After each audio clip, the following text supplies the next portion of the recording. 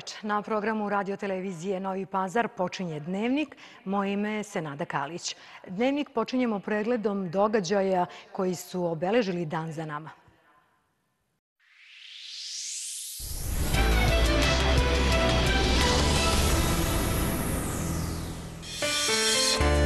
Svečano otvorena gradska biblioteka u Novom pazaru, na čijoj se rekonstrukciji radilo u proteklom periodu.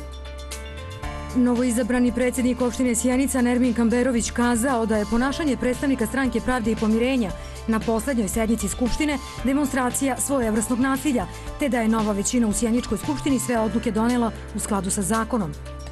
Dogovorena intenzivnija saradnja Novopazarskog kulturnog centra i Instituta za kulturu Francuske u oblasti filma, stripa i digitalizacije u svim domenima umetnosti. Futsal spektakl u najavi Novi Pazar u nedelju dočekuje fon uz direktan prenos na radio televiziji Novi Pazar od 18 sati. Tokom vikenda promenljivo smenjivaće se sunce i oblaci temperatura u porastu u Novom Pazaru oko 20 stepeni.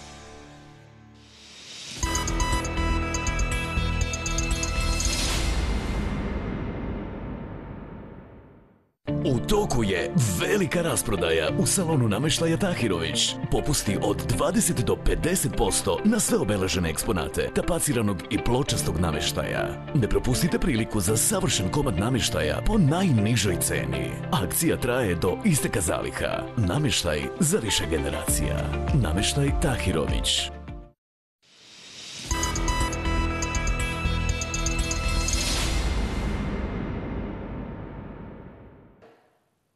Biblioteka Dositej Obradović dobila je sasvim drugačiji izgled. Gotovo da je neprepoznatljiva. Staru oronulu zelenu fasadu zamenila je nova. Upravo je završena svečanost povodom završetka restauracije. Naš Zoran Maksimović je prisustovao tom događaju. Zorane, šta je sve urađeno u gradskoj biblioteci? Senada, urađeno je mnogo ovde. Zaista u pravosti ova zgrada je sada totalno neprepoznatljiva. Sećamo se svi one oronule zelene fasade. Ova zgrada se sada uklapa u čitav ovaj ambijent gradskog parka sa kulom otriljom i sa tvrđavom. Ministarstvo trgovine, turizma i telekomunikacije uložilo je čak 300.000 evra u rekonstrukciju ove zgrade i to nije jedini projekat koji je ministarstvo finansiralo u Novom pazaru. Ministar Rasim Ljajeć je malo čas rekao da je u sve projekte u ovom gradu u skorije vreme Ministarstvo trgovine, turizma i telekomunikacije koje je on vodio uložilo preko milijon i sedamsto hiljada evra. Pored mene je direktor Gradske biblioteke Dositi Obradović u Novom pazaru, gospodin Elija Srebronja, koji večeras nije krio zadovoljstvo, e, pa bih ja sad s vama malo da popričam o tome šta je sve ovde urađeno, to je ono što nas najpre zanima. Vidimo da, da je spoljašnost zaista impresivna. Šta je sve urađeno?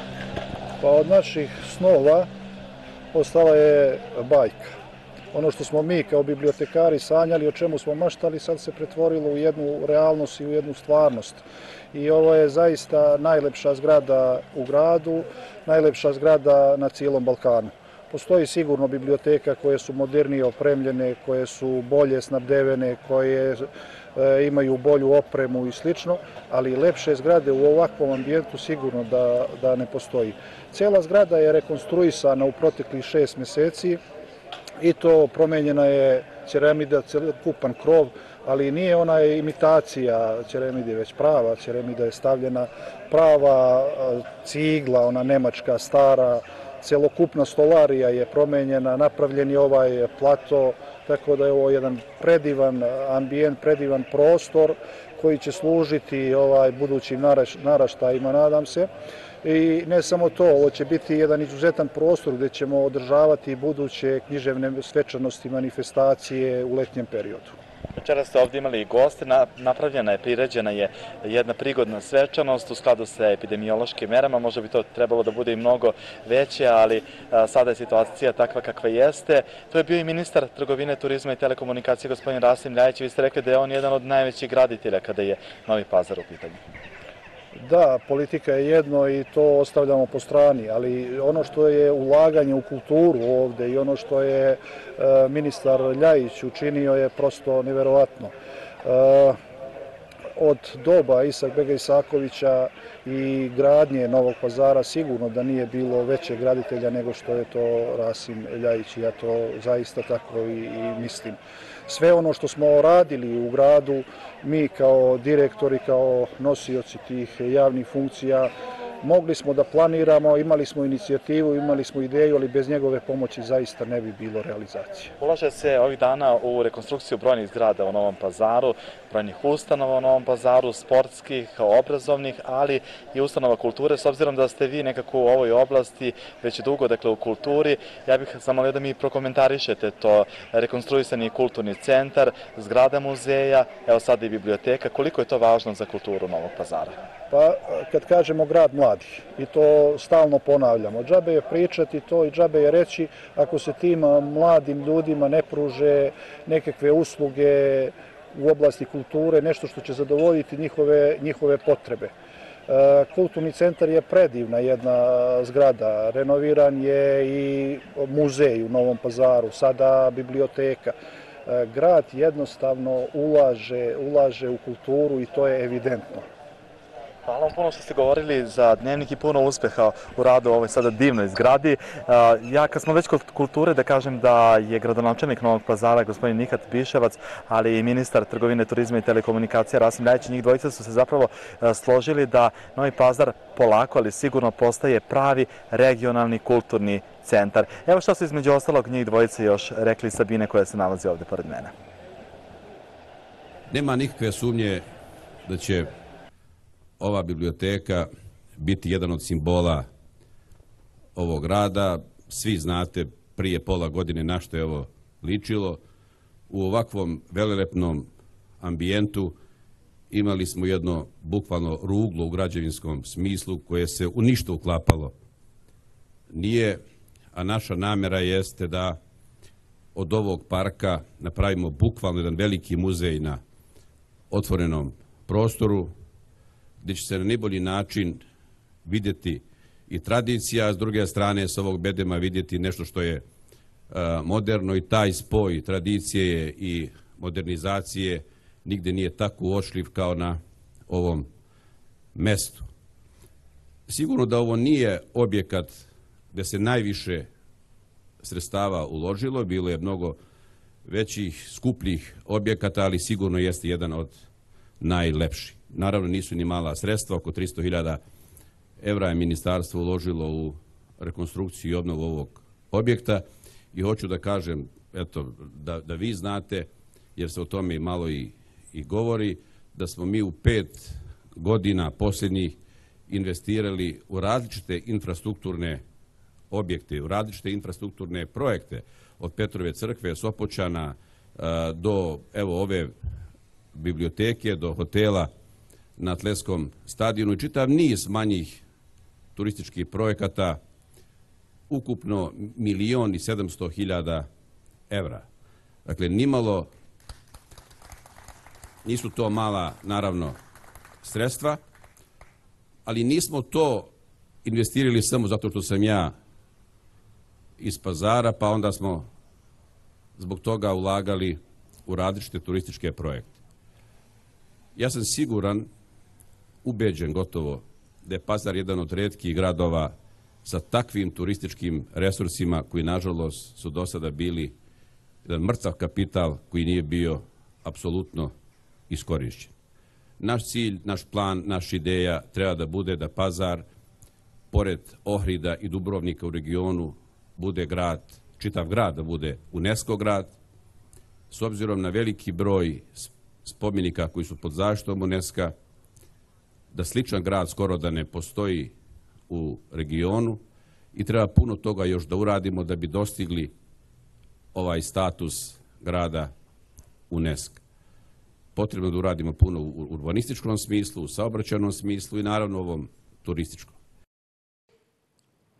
A evo koje poruke večera sa otvaranja e, rekonstruisane biblioteke uputio i gradonačelnik Novog pazara Nihat Biševac.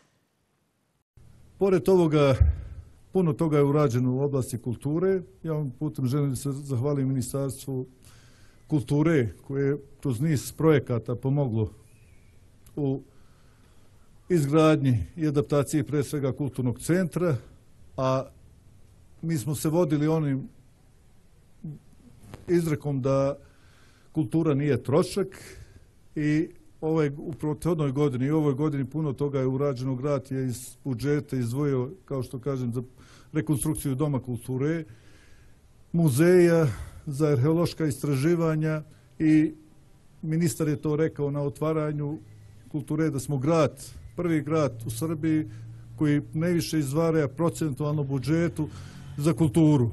Mi ćemo i dalje u narednom periodu to činiti i pored rekonstrukcije objekata koji su veoma značajni za kulturu, mi gledamo da, kao što jeste grad Novi Pazar je regionalni kulturni centar, gledamo kroz različite kulturne manifestacije, pozorišne predstave, razni festivali, kolonije, da to i ostanemo. I evo ja kažem, i ovaj objekat je dokaz toga da je grad Novi Pazar postao pravi regionalni centar i kulturni centar.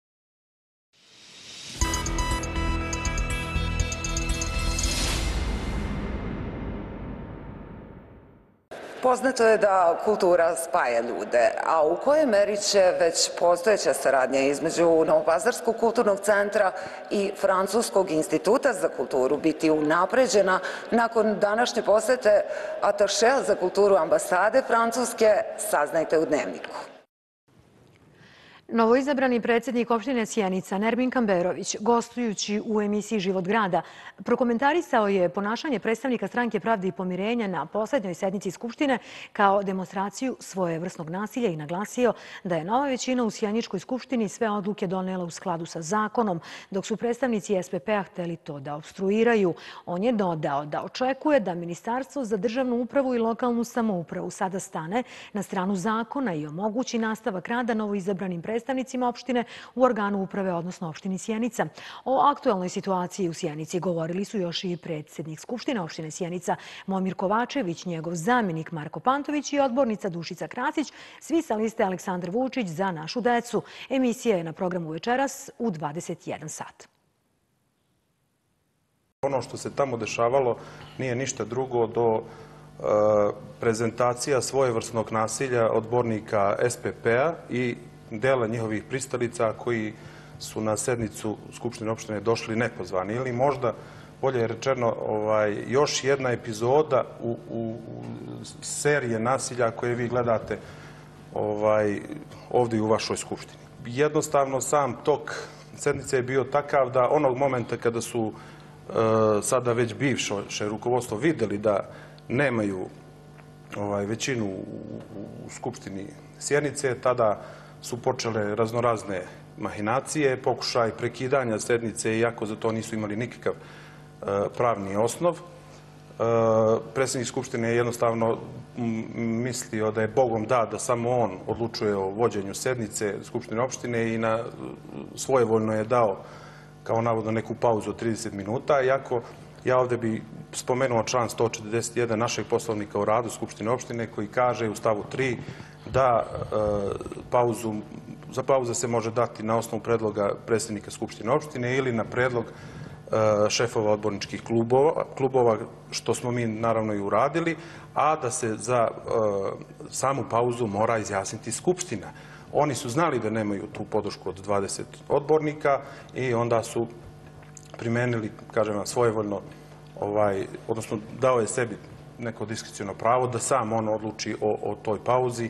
Nakon toga smo mi opet u skladu sa pozitivnim propisima i samim, ovaj, samim poslovnikom o radu, e, s obzirom da su aktuelni predsjednik Skupštine i njegov zamjenik e, odustali od vođenja, daljeg vođenja sednice, e, u skladu sa pravilnikom je vođenju sednice pristupio najstariji odbornik Momir Kovačević. Mi smo sve nakon toga regularno sproveli proceduru, doneli odluke u skladu sa, sa zakonom i ovaj, dnevnim redom, izabrali novo rukovodstvo opštine i to je u najkraćim crtama ono što se dešavalo na, na, na samoj skupštini. Sve je apsolutno u skladu sa pozitivnim propisima, sa pravilnikom o radu skupštine opštine. Ja očekujem da Ministarstvo za ovaj, lokalnu samupravu jednostavno stane na stranu zakona i nama omogući nastavak rada u organu uprave, odnosno opštini Sjenica. Na dobrobit, naravno, svih građana opštine Sjenica.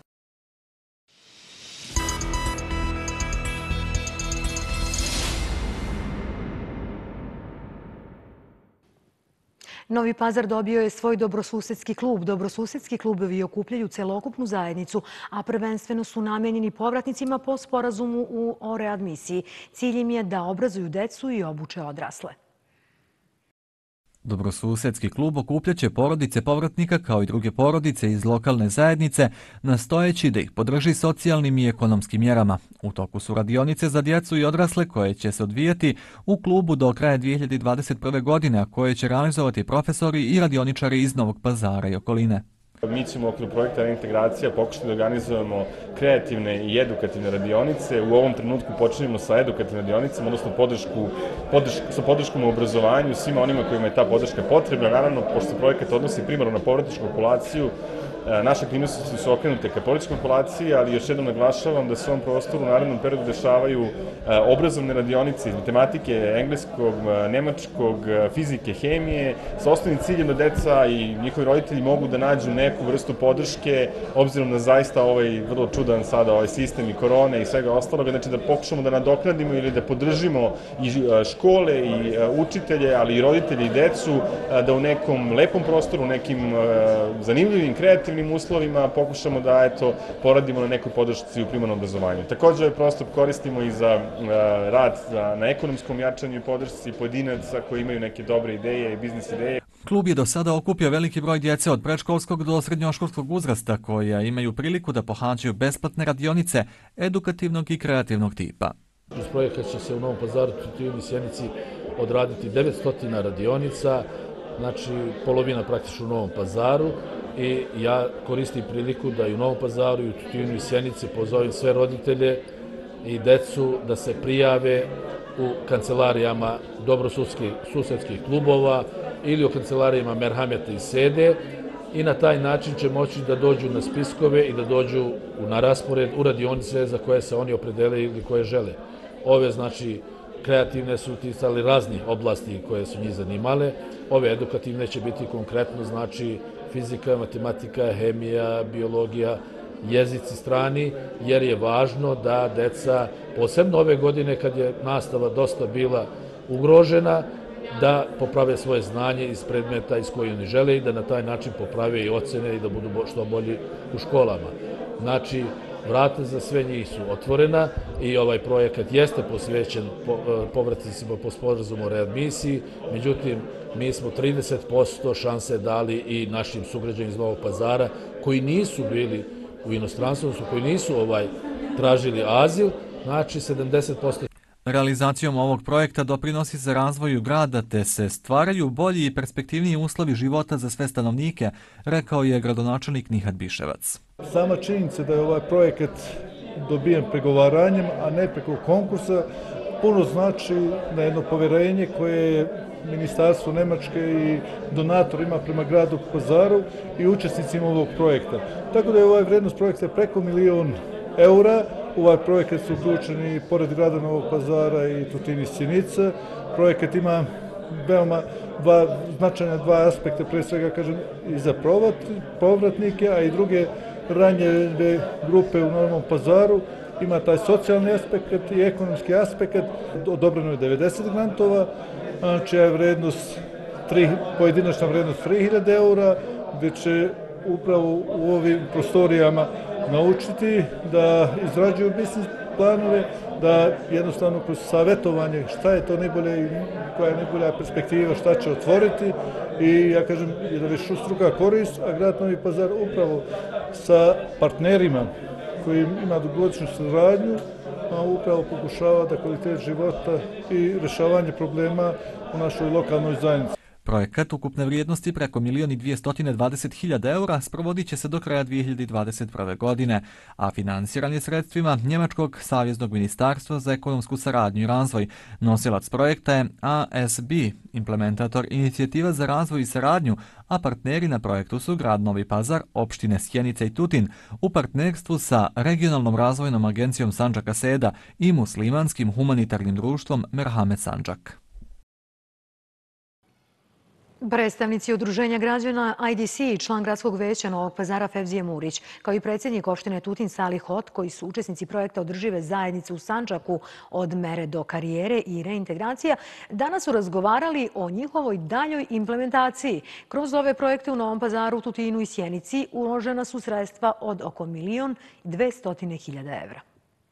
Tokom sastanka predsjednika opštine Tutin Saliha Hota, člana gradskog vijeća Novog pazara Fevzije Murića, i predstavnika Udruženja građana IDC iz Beograda, razmotrena je implementacija dva projekta koji se sprovode u Novom pazaru, Tutinu i Sjenici, održive zajednice u Sanđaku od mjere do karijere i reintegracija. Kroz ove projekte, povratnicima iz zemalja Evropske unije, marginalizovanim grupama, socijalno ugroženim i ljudima sa poslovnim idejama, pruža se socioekonomska pomoć, edukacija, dokvalifikacija, obuka za izradu biznis planova i mnogo drugih vidova podrške za poboljšanje uslova života. Na neki način smo pomenuli da smo kroz ta dva programa e, u ovom trenutku podržali preko 30, e, e, da kažem, različitih pojedinaca koji su imali određene inicijative, biznis ideje, koji su imali neku Eh, hrabrost da svoju egzistenciju uzmu u svoje ruke, eh, a i također da smo organizovali niz eh, radionica, psihosocijalnih radionica u projektu integracije, gde preko 200 dece mališana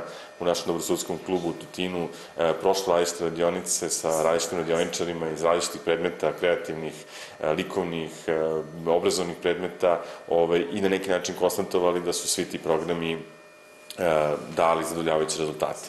E, na bazi toga ovaj, govorili smo o novim planovima e, i o novim projektima, o, da kažem, obezbeđivanju ili traženju nekih dodatnih sestava iz različitih e, evropskih ili bilateralnih fondova u planu je jedna zgrada za socijalno stanovanje, e, a takođe i određeni ovaj, projekti koji se tiču podrške ljudima na selu, u ruralnim predelima, e, primarno u, nekoj, u nekom jačanju njihove socioekonomske e, situacije. Na neki način smo definisali mogućnosti za saradnju, prostore za saradnju, kao i različite uloge koje bi trebali da, da, da, da, da zauzmemo ili uzmemo u cilju obezbeđivanja nekih nešto boljih uslova za život ljudi u opštini Tutin.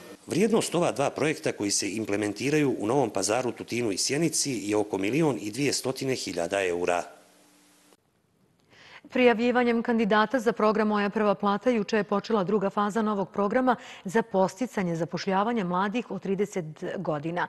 Po broju prijavljenih poslodavaca, Novi pazar je na drugom mestu u Srbiji i u ponudi je veliki broj radnih mesta, a rok za prijevu kandidata je 8. novembar.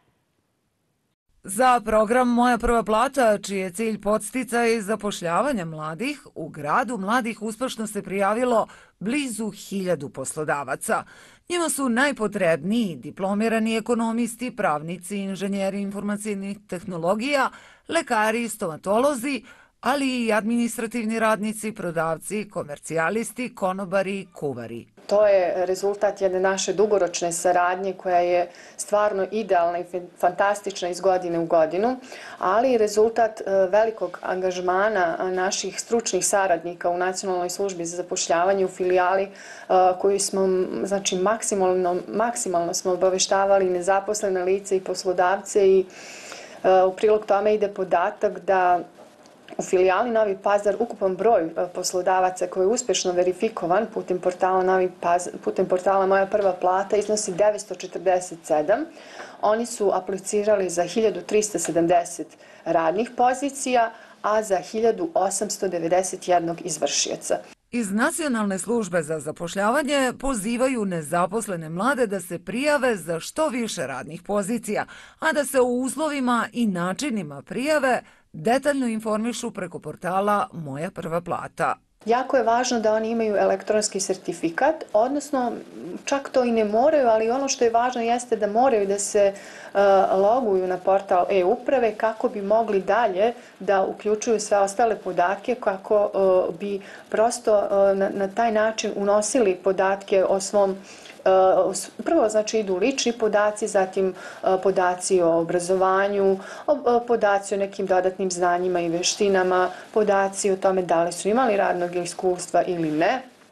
Svakako Portal je prilagođen i njima, nije toliko zahtevan i težak, ali bi svakako preporučila da prethodno dobro prouče uputstvo, jer u uputstvu prosto su date sve smjernice kako lice treba bez problema da se prijava na portal sve korak po korak. Nezaposlena lica do 30 godina starosti i bez radnog iskustva mogu se prijaviti za više radnih pozicija iako se odobrava samo jedna. Rok za prijavu zainteresovanih kandidata je 8. novembar, nakon čega počinje proces izbora kandidata od strane poslodavaca, koji će trajati sve do 15. novembra.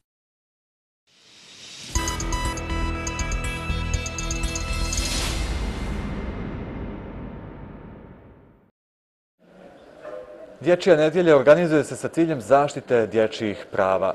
U Novom pazaru održan je sastanak sa gradonačelnikom ovog grada i budućnosti ovog grada. O čemu je bilo riječi, saznajte u nastavku dnevnika. Na infektivnom odeljenju Novopatarske bolnice i dalje su na lečenju tri pacijenta. COVID ambulanti Doma zdravlja javila su se 34 pacijenta, njih 19 prvi put, dok je njih 15 obavilo kontrolni pregled. Od 15 uzorkovanih seroloških, odnosno brzih testova, jedan je bio IgG pozitivan. Urađena su i četiri PCR testa. A Gradski štab za vanredne situacije na današnjoj sednici usvojuje zahtev opšte bolnice u Novom pazaru za finansiranje rekonstrukcije prostorija za COVID ambulante i proširenje infektivnog odeljenja. Za ovu svrhu grad će izdvojiti sredstva od 5.188.980 dinara. Također, usvojen je predlog Doma zdravlja o izvođenju hitnih radova za potrebe formiranja novih COVID ambulanti u ukupnom iznosu od 2.100.410 dinara. Gradski štab za varedne situacije doneo je odluku o ukidanju varedne situacije na teritoriji Novog pazara u zapel građanima da se u potpunosti pridržavaju mera i preporuka kriznog štaba. A prema pisanju štampanih medija, Novi Pazar i njegovi građani se svrstavaju među one koji ne poštuju dovoljno preporučene mere zaštite od koronavirusa, iako više nema dileme da se virus ponovo razbuktava i u našoj zemlji građani kao da to ne shvataju ozbiljno. U Novom Pazaru stiče se utisak da su starije generacije disciplinovanije, iako se, kako kažu, ne plaše korone. Uprkos brojnim apelima nadležni da u situaciji pandemije koronavirusom poštuju mere, nose maske, poštuju fizičku distancu i vode pojačanu brigu o higijeni građani Novog pazara u velikoj meri ostupaju od toga. Ovako je danas bilo na ulicama oko podneva. Redovi ispred banaka, guže u kafićima i restoranima. Masku nosi redko ko. Mladi ističe se utisak nedovoljno ozbiljno shvataju situaciju. Jula i avgusta u ovom gradu kao i da se ne sećaju. Ne plašite korone, jel da? Nama korona upaza teško da šta može. A se sećate jula i avgusta? Ja bre, kakav jul. Mere uglavnom poštuju stariji ako tvrde da se virusa ne boje. Se bojite vi korone? Jo, a da, jo. S obzirom da smo prošli kako smo ne, prošli? Ne, ne, ništa to nema veze sa boljeću. To nikakve veze nema sa boljeću. To je izmišljeno. Maska je na ruci. Kad ju koristite? Kad, kad uđem unutra, zatvoren. A se bojite korone? Ne, ne nešto previše, ali... Ja nikud ne idem iz kuće. Samo do penziju. Za penziju i za lekove i u crkvu, nigde više. Dobro, ali što mislite, koliko novopazarci, da li u dovoljnoj meri poštuju mere? Pazarci mnogo grešu omladina ne poštuje starije. Mislim da je sve u redu, da se pridržavaju onako kako je solidno, mislim. Ne plašim se, nema nikad, nikad nisam bio bolno viću. Maskama držimo distancu koliko toliko. Koje meri poštujete preporučene mere zaštite? Treba da se poštuje, ali slabo. A treba da se poštuje. Ja ne umijem da pričam. Da se plašite korone? Za sad ne, a ima. Preporučujem pravila da se poštuju. A se plašite korona? Pa ne. Ne. Posjećamo iz ovdašnjeg Zavoda za javno zdravlje konstantno apeluju i ukazuju na neophodnost poštovanja mera i preporuka, ističući da o kolektivnom imunitetu novopazaraca nema govora. Ministarstvo zdravlja uvelo je poseban broj 064 88 11405 na koji građani mogu putem aplikacije Viber da prijave nepoštovanje epidemioloških mera, naročito u ugostiteljskim objektima i drugim mestima gde se okuplja veći broj građana. Iz restornog ministarstva je saopšteno da je situacija stabilna, ali može brzo da se preokrene s obzirom na stanje u okruženju kao i na popuštanje u poštovanju mera.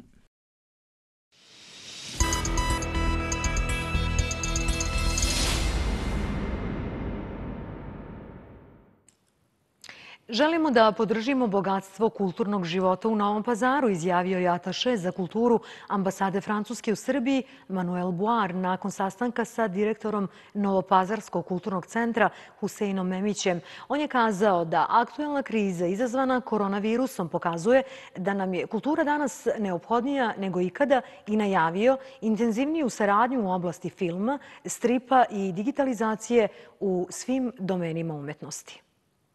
Direktor Kulturnog centra Husein Memić upoznao je goste o svim značajnim projektima koje je krovna kulturna institucija grada Novog pazara realizovala posljednjih godina kako bi unapredila uslove za programske sadržaje u svim domenima umetnosti. Memić je nakon sastanka izrazio nadu da će postojeća saradnja sa Francuskim institutom za kulturu biti još intenzivnija u narednom periodu.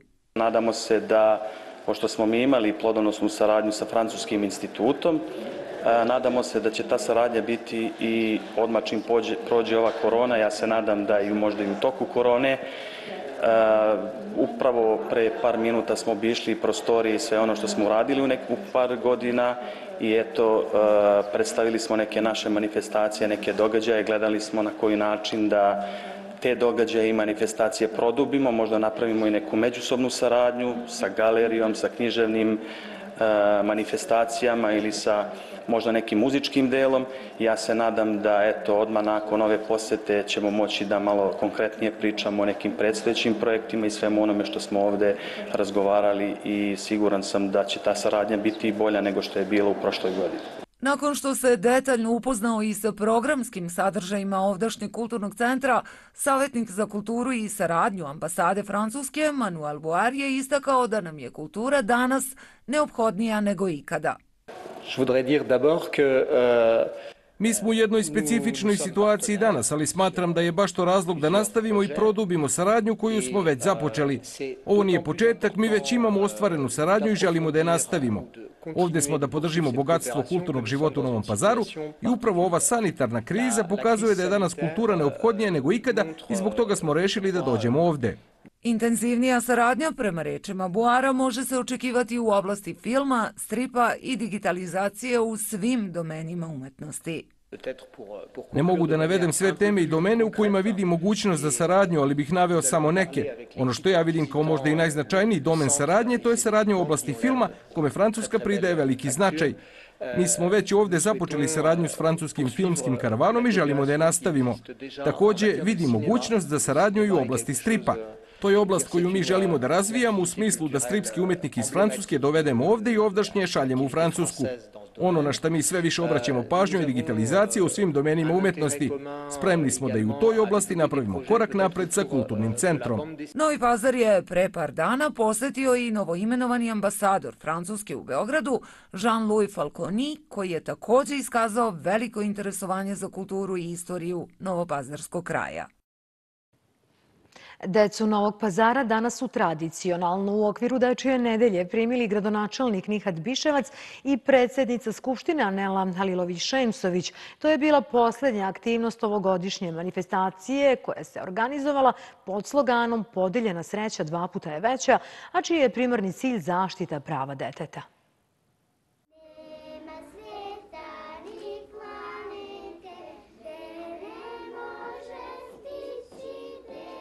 Gradonačelnik je Mališane darovao slatkišima, a oni su bili u prilici da zatraže odgovore na pitanja koja su za njih bila bitna.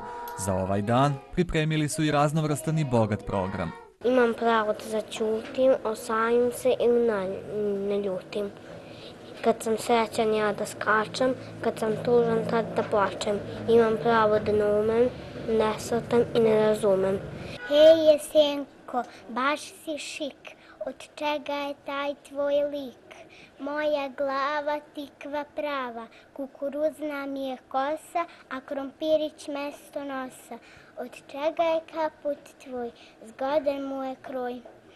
Zagruj učo svoje prvake, ne daj da se plaše i stide, nježno otključaj njihovu dušu i u snu da te veselog vide. Neka ti sunce na licu sija, sklanjaj se čela munje i kiše. Što nisi spavao? Zato što sam bila srećan što ću ovdje da dođem. Politika grada Novog pazara je obezbjeđivanje uslova za bezbrižno detinstvo svakog djeteta, odrastanje u sigurnoj sadašnjosti sa ciljem da ovi mališani žive u svjetloj i ljepšoj budućnosti. Za gradonačelnika Nihata Biševca ovo je, kaže, najdraži susret u toku godine i podstrek da se još više ulaže u mlade. Ovo je sigurno jedan od najlepših dana u toku rada, tokom godine u gradskoj upravi i oni su sigurno najdrži gosti gradske uprave, uvek se radujem njihovim susretu i upravo e, za sve ovo što radimo, najveća je nagrada njihov osme, a trudimo se zajedno, ja kažem, s njihovim roditeljima, vaspitačima koji su tu, profesorima, prosvetnim radnicima, da im obezbedimo srećno i što bezbednije detinjstvo. Gradska uprava je tokom prethodnih godina i stvarno radi na izgradnji igrališta, sportskih terena, izgradnju škola, rekonstrukciji škola, sve stvaranje što bolje uslova za njihovo odrastanje. A sigurno veliku ulogu tu imaju, kao što sam rekao, vaspitači, jedan od najljepših zanimanja, ali neodgovorni i sigurno grad Novi Pazar se ovom prilikom, kažem, zahvaljuje na njihovom radu na vaspitanju dece, jer oni su budućnost našeg grada, a naša je obaveza, ja kažem, da im stvaramo što bolje uslove za njihovo odrastanje i razvoj, jer oni sutra će biti ti koji će upravljati ovim gradom i nastaviti da izgrađuju naš grad Novi Pazar. Susret je protekao uz razmjenu poklona i grupno fotografisanje koje će biti uspomena djeci na ovaj, za njih, jako uzbudljiv dan. Iako ove godine u znatno drugačijim uslovima, Dečija nedelja u Tutinu je uspešno završena. Mališani su uživali i tokom proteklih dana poslali najlepše poruke.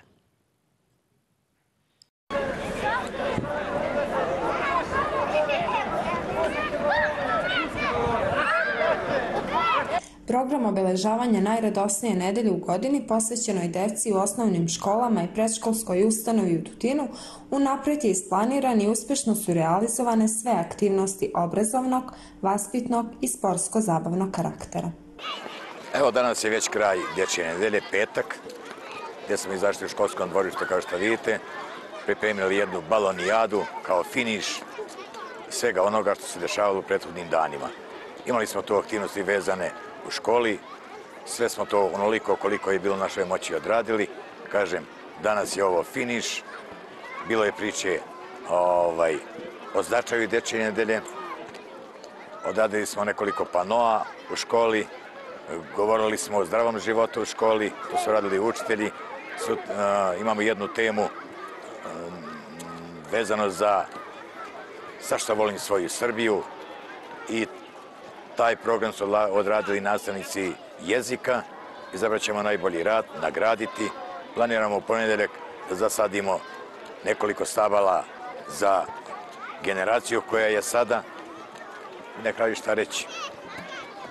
Čestitke sve svim prvacima za realizaciju u onom u kome smo mi mogli da odradimo i nadam se da će u sljedećoj godini sama situacija biti mnogo bolja, mnogo zdravija, gdje ćemo sve aktivnosti odraditi onako kako je planirano planom i programom, odnosno ono što smo mi dobili od Ministarstva prosvete, nauke i tehnološkog razvoja.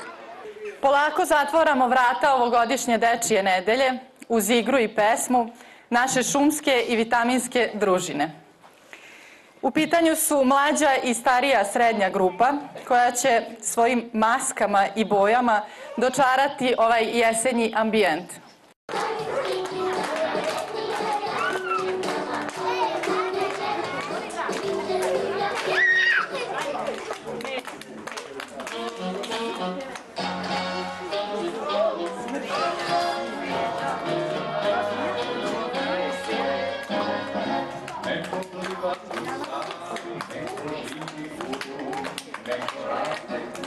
Sve aktivnosti u okviru Dečije nedelje realizovane su uz poštovanje svih preventivnih mera zaštite od koronavirusa.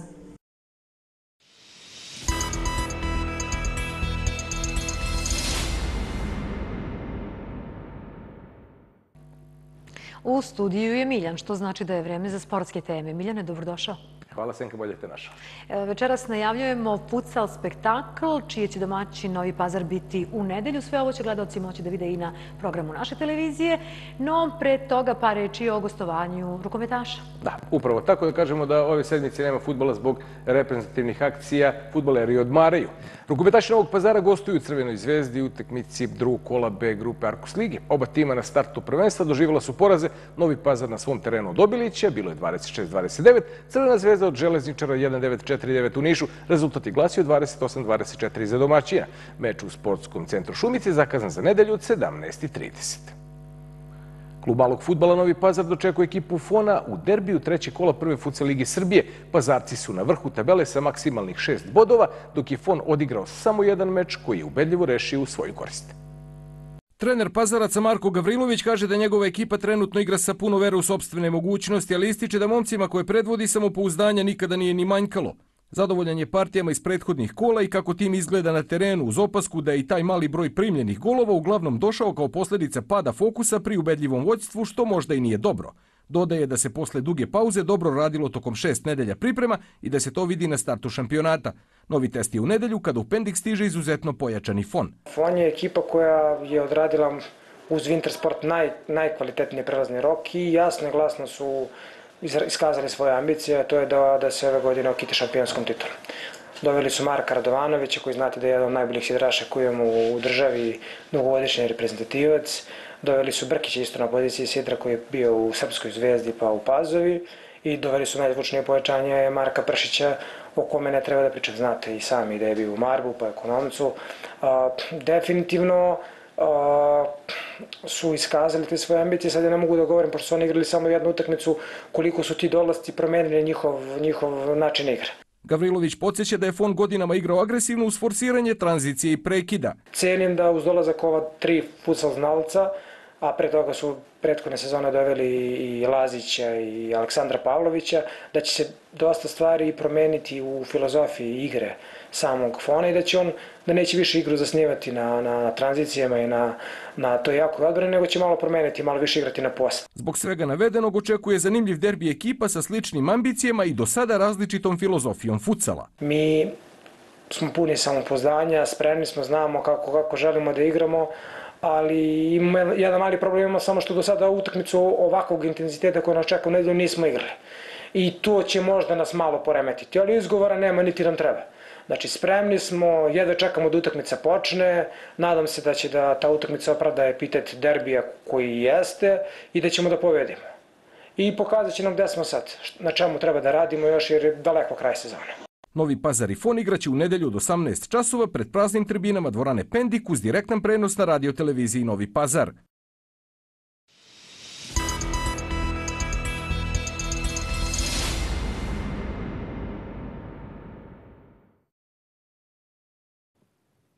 Prema rečima meteorologa, sutra delimično oblačno maksimala temperatura oko 20 stepeni. Sutra će prema rečima meteorologa preovladavati pretežno sunčano vreme. U pojedinim dijelovima dana bit će i oblaka. Juterne temperature kretaće se oko 12. podeoka na Celzijusovoj skali, a maksimalna dnevna neće preći 21. podeok na Celzijusovoj skali. U nedelju više sunca nego oblaka, maksimalna temperatura do 20 stepeni. Od ponedeljka hladnije sa maksimalnom temperaturom do 13. Tokom većeg dela nedelje promenjivo vreme sa kišom. U Novom pazaru sutra promenjivo oblačno sa dosta sunčanih intervala. Maksimalna temperatura 20 stepeni, a jutro hladno sa temperaturom oko petog podeoka. I u nedelju slično vreme. Iz Novopazarskog vodovoda obaveštavaju da će u ponedeljak 12. oktobra zbog neodložnih radova na vodovodnoj mreži u naselju Šestovo doći do zatvaranja vode, tako da će bez vode ostati potrošači ulice Stevana Nemanje, Omladinske, Miodraga Komatine, Njegoševe, kao i naselje Šestovo i to u periodu od 8 do 15 časova. Ovo je posljednja informacija u dnevniku. Za kraj se još jednom posjećamo događaja koji su obeležili dan za nama.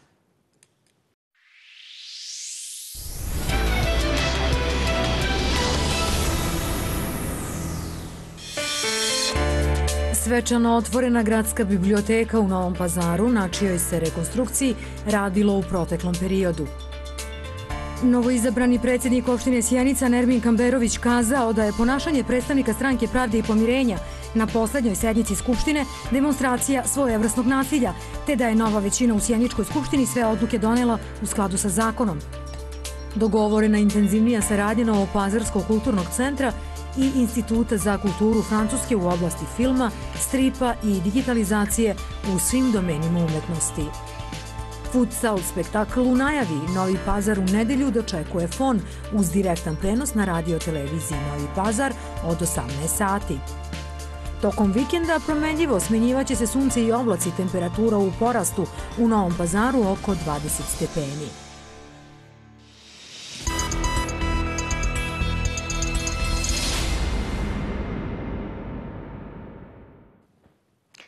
Gledali ste dnevnik na programu radio televizije Novi Pazar. Nastavite da nas pratite na našoj zvaničnoj web stranici, društvenim mrežama i digitalnim platformama. Hvala vam za pažnju.